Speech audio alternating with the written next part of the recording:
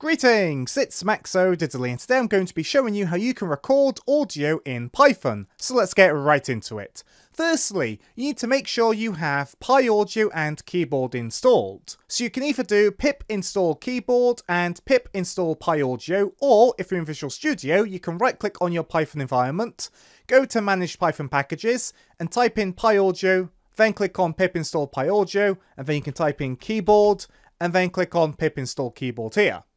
I strongly recommend you use Python 3.9 or whatever the latest version is when you're watching this tutorial. So firstly, at the top of our code, we're going to do import PyAudio, import wave, import keyboard, and import time. PyAudio allows us to work with audio in Python, and it's going to be used to record audio from our microphone.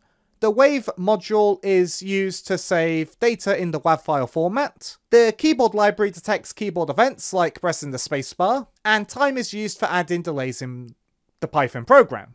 Then we're going to do format equals pyaudio dot paInt16, channels equals 1, rate equals 44,100, chunk equals 1024, and output underscore file name, whatever you want your WAV file to be called. These are going to be some audio parameters for the WAV file that's going to store our recording. So the first one we're going to be using 16-bit PCM format. Channels is the number of audio channels. We're going to do mono audio, so we're going to stick with one. Then we've got our sample rate, which is going to be 44,100. Chunk is going to be how many frames are in the buffer. And then obviously we got the file name for where we want to put the audio. After that, we're going to do audio equals pyaudio dot pyaudio. And then we can do stream equals audio.open, format equals format, channels equals channels, rate equals rate, input equals true, and frames per buffer equals chunk. So here we're going to be initializing PyAudio and opening the stream. So this line here just creates the PyAudio object,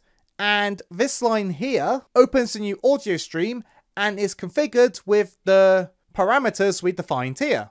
Next we're going to do frames equals empty array, print, press space to start recording, keyboard.wait space, print, recording, press space to stop, and then time.sleep 0.2. So here we're going to be starting the recording process. And you'll see how we do the actual recording in a second. But basically, this is going to be our array slash list that's going to store all of our audio chunks. Here we're basically going to be waiting for the user to press space before we start recording. And with the time.sleep, basically, if we don't include this, when we hit space, all of our keyboard.waits for space will be triggered.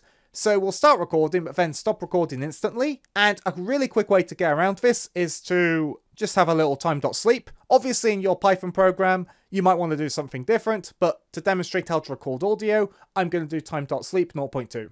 Next up, we are going to do our recording loop. So we're going to do while true, then we're going to do try. Data equals stream.read chunk, frames.append data, and then we can do an exception, keyboard interrupt, break, and then we can do if keyboard.is space, print, stopping recording after a brief delay, and then we can do time.sleep 0.2 and then break. The while true loop keeps running continuously to record audio. Data equals stream.read chunk reads audio from the stream, and then we can do frames.append data to add the data to the frames list, our except keyboard interrupt allows stopping the loop with Control C, which is optional, but something handy in case your space key stops working. And then we can do break, which will exit this loop. And then we've got if keyboard.is press space. I'm going to check if the space bar is pressed again to stop recording. And then we can do another uh, time.sleep 0.2 to avoid detecting multiple space presses immediately. After the while loop, we're going to do stream.stop stream so after the while loop, we're going to do stream.stop underscore stream, then we can do stream.close and audio.terminate. And these three lines of code just stop the stream, close it, and then get rid of the PyAudio object. And this ends the audio recording session. After that, we've got quite a few lines of code to write a WAV file. This will be in the description below for you to copy and paste, by the way, if you don't want to type it all out.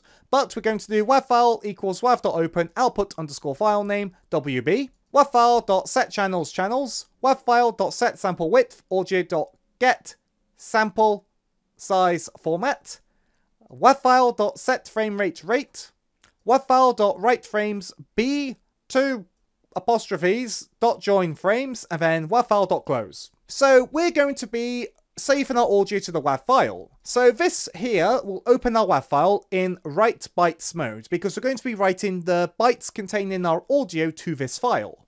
And we pass in our file path that we defined up here.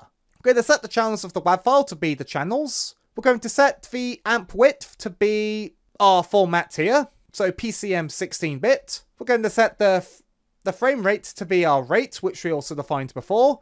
And then we do wavefile.write frames b.join frames. This is going to write all recorded frames to the file. And then we can do wavefile.close to close the WAV file because we finished writing to it. So, that's it for recording audio in Python, so save your work. Make sure you've got all the appropriate pip installs done. Now let's hit play. So it says hit space to start recording. I'm going to talk for a little bit to prove that it's not recording already. Now let's hit space. Now it says recording, press place to stop. Press space to stop, I was meant to say. But anyway, um, I hope you enjoyed this tutorial. You should totally subscribe if you found it useful. Now we're going to hit the space key. And it says stopped recording, and then it closed before we, we had a chance to read the message. You could do another time.sleep or another keyboard.wait if you wanted to. But Let's check out the WAV file. If you're in Visual Studio, you can right click on your project and go to Open Folder in File Explorer. And since we're using a file path which is just the file name, it'll be saved right next to our Python file. Make sure you get the file path correct for your project. Now let's open it up.